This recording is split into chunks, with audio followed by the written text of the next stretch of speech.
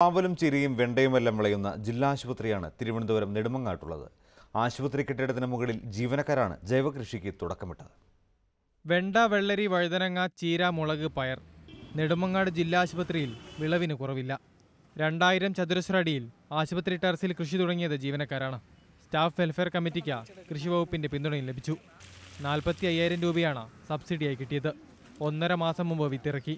രണ്ട് മാസം കൊണ്ട് തന്നെ നമുക്ക് നല്ല രീതിയിലുള്ള വിളവെടുപ്പ് ചെയ്യാൻ പറ്റി. ക്യാൻസർ തുടങ്ങിയ മറ്റ് പല അസുഖങ്ങളെയും ചെറുക്കാൻ ഈ രീതിയിലുള്ള സംരംഭങ്ങൾ സഹായകമാകും. രാസവളമിടുന്ന ഏർപ്പാടില്ല. ചാണകവും ചാരവും ഇട്ട് പരിപാലിച്ചപ്പോൾ മികച്ച വിളവും കിട്ടി. കീടനാശിനിക്ക് വേണ്ടി ഉപയോഗിക്കുന്നത് കാന്താരി മുളക് പിന്നെ ഗോമൂത്രം പിന്നെ വേപ്പിൻ പിണ്ണാക്ക്. ഇങ്ങനെയുള്ള സാധനങ്ങളാണ് ഉപയോഗിക്കുന്നത്. അല്ലാതെ ഇപ്പോൾ ആശുപത്രി ജീവനക്കാരാണ് ആവശ്യക്കാർ.